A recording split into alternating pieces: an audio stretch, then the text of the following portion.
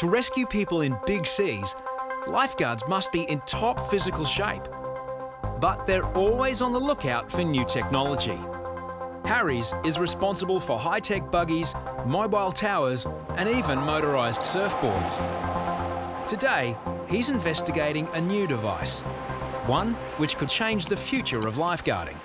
Hey boys. Hey mate. Hey mate. How's it going? I'm Harry. Good. Daniel. Daniel, nice to Hey, meet Harry, you. Nick. Hi Nick, how you going? Very well. Daniel Smith, a school student from New South Wales, has joined forces with Nick from Airsight Australia to design an unmanned rescue drone. Uh, this is my Year 12 design technology project. Um, you know, I've been a surf lifesaver for three years volunteering. Yep. And so I got in contact with Nick, and then I came up with this idea, and uh, he helped me out with it.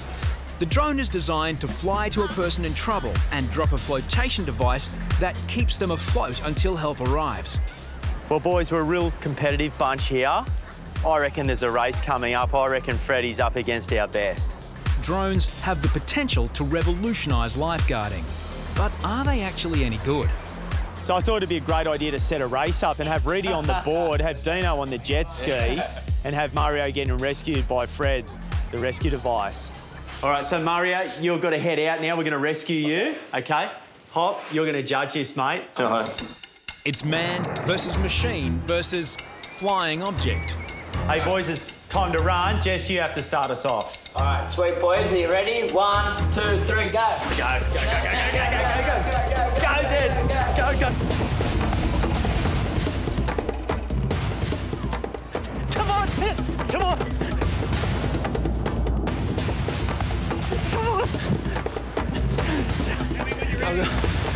Go, go, go, go. That device went up so quick. Reidy hits the water first, followed closely by the drone, then the jet ski. And they're nearly all in a line heading out. The jet ski's racing the drone now. Reidy's left behind. Dean's beating him out.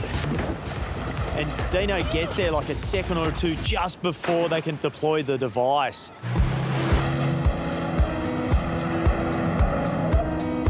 That was the perfect, perfect scenario just there. There was like only a couple of seconds in between the deployment of, of the, like the life jacket to like Dean getting to it. The drone does have its place, uh, and one day will probably be a part of the lifeguard service down here at Bondi.